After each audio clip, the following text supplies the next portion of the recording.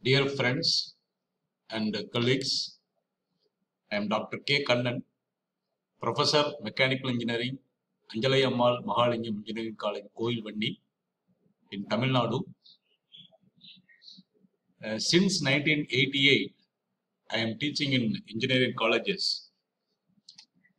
Based on my experience in the 30 plus years in engineering colleges, I like to share some of my thoughts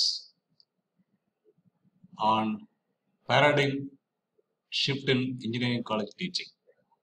So today, uh, in, mo- in almost all the engineering colleges in India, the admissions are poor. In Tamil Nadu, there are only 50% admission in the total seats of Tamil Nadu government. In colleges, majority of the colleges, the result is poor, placement is poor, students are not performing well in the national level examination like a GATE, and uh, corporates, industries, they are reporting that the students does not have the employability skills. These are the many, many problems.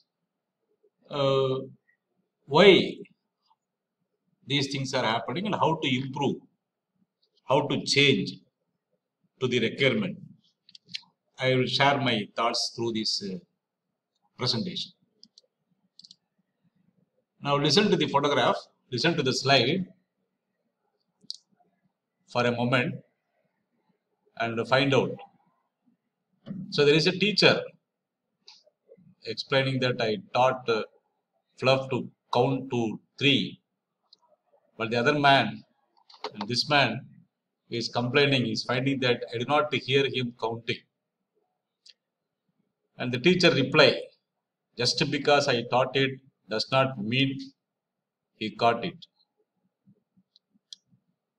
So the thing is, we are teaching in the classroom, we are teaching to the students, effectively we are teaching to the students, but are the students are learning in the classroom?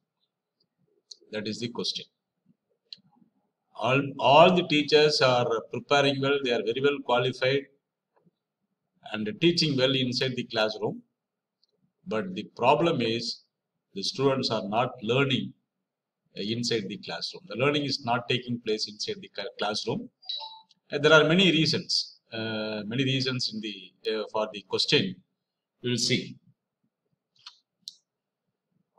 So yesterday, what was important inside the engineering college classroom? It was how effectively the teacher was teaching in the classroom. So the teacher, when the teacher is effectively present the subject, and everything will be good. That is enough for the student on the previous days. But today, the thing is how effectively the student is learning in the classroom. That is what uh, measured. Uh, we you can find out. You can find out the results. Anna University examination results are poor. They uh, because the learning is not taking place inside the classroom. And uh, how the what are all the attributes for effective teaching or learning? So how to measure the effective teaching of the teacher or effective learning of the student inside the classroom. So the what are the attributes for effective teaching or effective learning? So how effectively the teacher is teaching inside the classroom or how effectively the student is learning inside the classroom.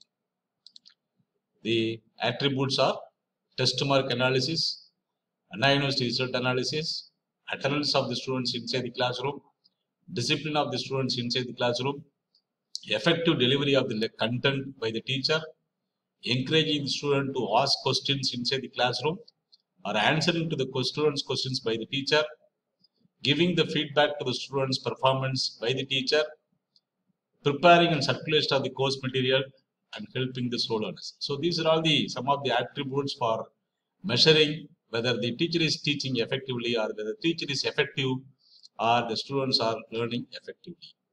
So everything is happening. These are all the tools what we have uh, the parameter what we have uh, to monitor the student and the teacher inside the classroom during the teaching learning process. But still, the things are not improving because of various reasons. So now we require some changes. We require changes in the understanding students' learning style. We are not understanding the student learning style. So the stu students learn by variety of method. Uh, uh, today there is a, a research so what are the topic all the topic whatever i have given here uh, there is intensive research going on and you can google the topic and find out the research uh, article uh, on these topics so the student learning style we have to understand the learning style and uh, adjust our teaching methodology to suit to the learning style of the student and design and delivery of the subject content. So how effectively we are designing and delivering the subject content using variety of teaching methodology inside a single period. That is very important. And uh, to, for delivery of the subject, we require innovative pedagogical techniques to suit to the learning style of the student. So sim simple chalk and talk throughout the 50 minutes or simple PPT presentation throughout the 50 minutes will not work, will be boring to the student. So we have to combine, we have to combine and effectively design the lecture uh, where you have variety inside the classroom. And uh, nowadays we find the classroom where the teacher is teaching for the 50 minutes and the students are uh, passively listening. They are not interacting. They are not even taking notes. They are not even writing inside the classroom. So that habit we have to break. So we have to make the student to participate in the learning activity. So for that we require active or collaborative learning technique inside the classroom. So when you when you have active and collaborative learning technique inside the classroom, the students will be active and they will participate in learning process so that they will learn better and the effective planning on the problem-based learning and effective planning on the project-based learning. So these two are very important for engineering colleges. All the engineers are expected to solve the problem in their uh, professional life. Maybe it may be a numerical problem or a decision making. A decision making in a critical situation is also a problem solving. So for problem solving and project-based learning, we require effective planning and we have to do in an effective way so that they can learn better through the problems and the projects. And uh, managing disruptive students, disruptive behavior of the students inside the classroom, this is also a challenge today. And uh, encouraging online learning. The students are, today's generation, they are more on the social media. So effectively utilizing the social media and we have to teach through the online so that they will learn better. So there are many more points to discuss. And uh, remember, many things are, many things, whatever I listed here, they are uh, subject of uh, research today internationally and you can refer the article on these topics.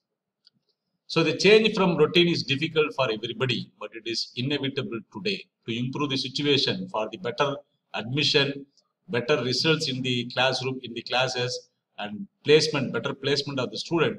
So we have to change. So we have to change our teaching method for the benefit of the next generation engineers. So I, I, I have I have conducted some research on the topics whatever I given earlier. I have very good collection of materials and for further details or conduct of training or the workshop, you please contact to my mail ID or phone number. So finally, thank you. All the best.